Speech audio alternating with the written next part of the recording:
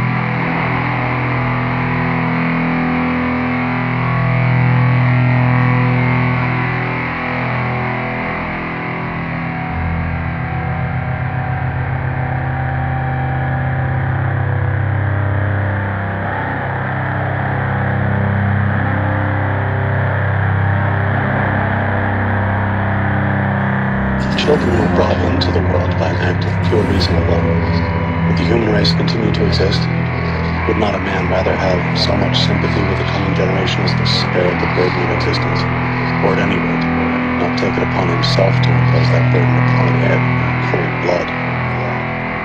I shall be told, I suppose, that my philosophy is comfortless because I speak the truth. People prefer to be assured that everything the Lord has made is good. Go to the priest then, and leave philosophers in peace. At any rate, do not ask us to accommodate our doctrines to the lessons you have been taught. That is what those rascals of sham philosophers will do for you.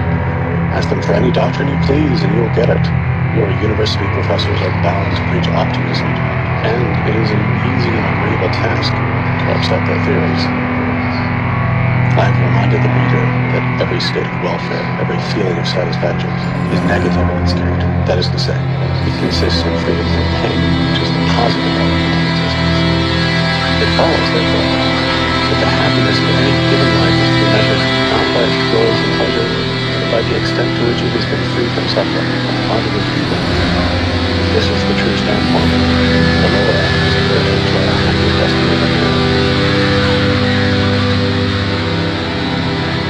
What is the good and matter of the more Tolstoy?